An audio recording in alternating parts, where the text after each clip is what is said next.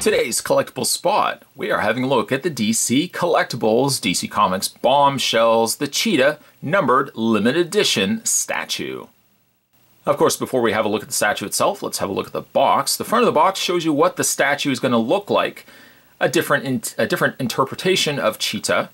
Cheetah is now uh, kind of more of a safari hunter, wearing a, a kind of a safari hat. She's got a camera in hand it's going to be an interesting, like I said, interpretation of what the character is going to look like.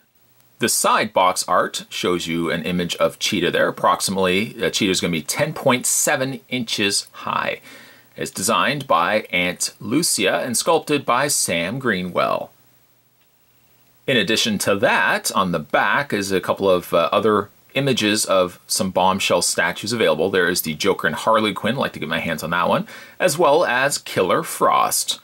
Below that, you can go to www.dccomics.com, and below that, you can go to www.comicshoplocator.com if you'd like to find a comic, a comic book shop in your area.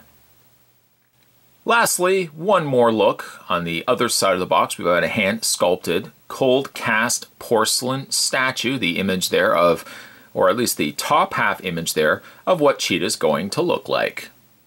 Now, with that being said, Spot's going to take himself a break and get this opened up. When we come back, though, we're going to get a better look at the DC Comics, DC Comics Bombshells, Cheetah, the numbered limited edition statue. There's more anyway, guys. Don't go anywhere. Stay tuned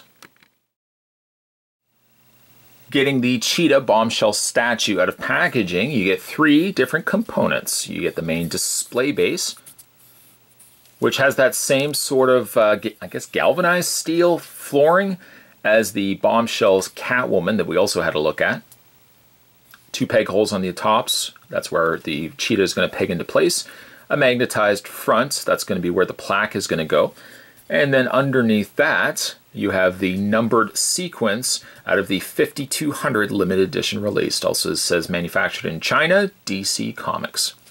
Uh, there are four uh, rubberized feet to prevent any sort of scratching if you happen to have it on the surface of like a table or a shelf.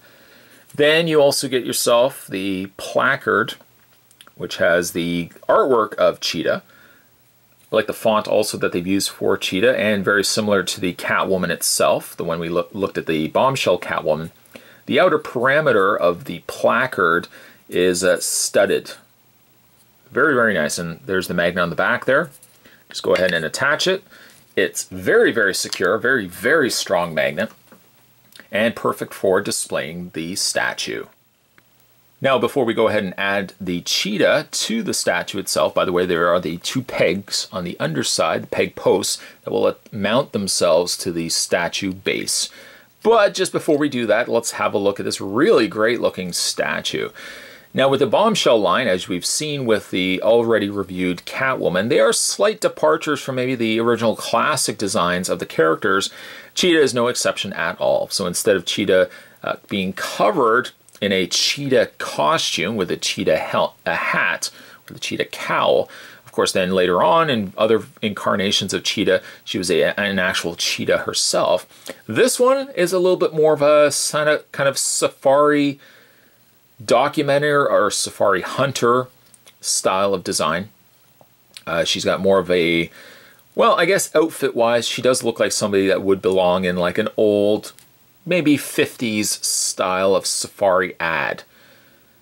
Uh, the costume, in this case, her outfit consists of a strapped or laced up beige shirt, a lower brown skirt, complete with pockets on the front, long, almost knee high socks, and boots wrapped up. Uh, it has a very vintage look to it, one of the things I do like about the Bombshell line. We spin the figure around the back or the statue around to the back. A slight then nod to also cheetah is the wrapped around uh, cheetah. Presumably, I don't know if it's an actual cheetah skin or cheetah fur that she has wrapped around her waist. That has kind of given her the slight indication of a cheetah tail. I really like that. I think that's a nice touch.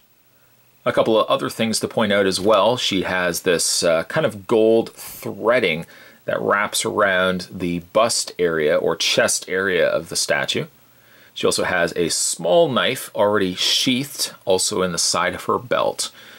You can see that she is sporting a uh, camera, although when I first looked at the statue, I thought that the camera was pointing at her as if she was posing almost an original selfie, so to speak. But instead, no, it looks like she is pointing it out. Perhaps it's something that she is uh, either studying or possibly hunting. The face is very nice. I love the red hair, and it's not even quite dark red either, because as you can see, comparing, comparing it to the glove itself, the glove is more of a darker crimson red.